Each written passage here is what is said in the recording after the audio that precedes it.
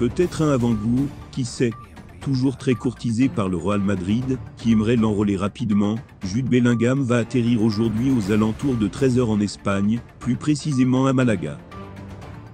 Un voyage non pas prévu pour un éventuel transfert en Espagne, mais effectué dans le cadre de la tournée hivernale du Borussia Dortmund, programmée à Marbella.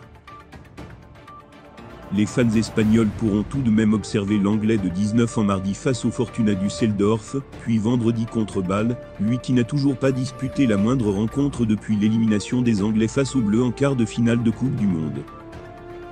Selon le quotidien AS, le Borussia Dortmund reste de tout de même convaincu que Jude Bellingham quittera l'Allemagne dans les prochains mois, lui qui est désormais estimé par le SI comme le joueur le plus bancable du monde. Youssouf Amoukoko, 18 ans, pose un sacré casse-tête au Borussia Dortmund. En fin de contrat en juin prochain, le jeune attaquant allemand a refusé les premières propositions de sa direction pour prolonger son bail. Le fait est qu'il se montre extrêmement gourmand. Ski Sport Germany nous apprend que le principal concerné réclame 10 millions d'euros au BVB pour rester avec son club formateur. Mais voilà, l'écurie de la Roure ne l'entend pas de cette oreille, et n'a pas l'intention de satisfaire ses exigences.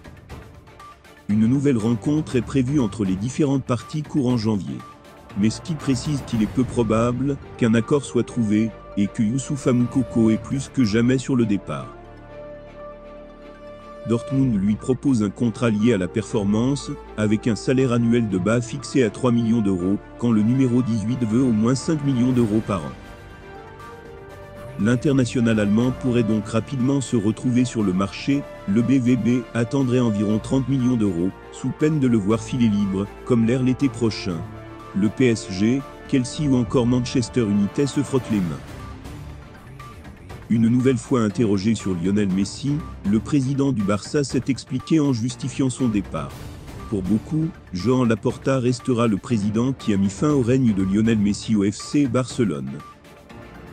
Pour sa défense, le successeur de José Maria Bartomeu est revenu aux commandes en héritant d'une situation économique désastreuse provoquée par son prédécesseur. Ce qui n'empêche pas les inconditionnels de l'Argentin d'en vouloir à la Porta. Et ce dernier a continué à les agacer en entretenant l'hypothèse d'un éventuel retour de Messi au Barça.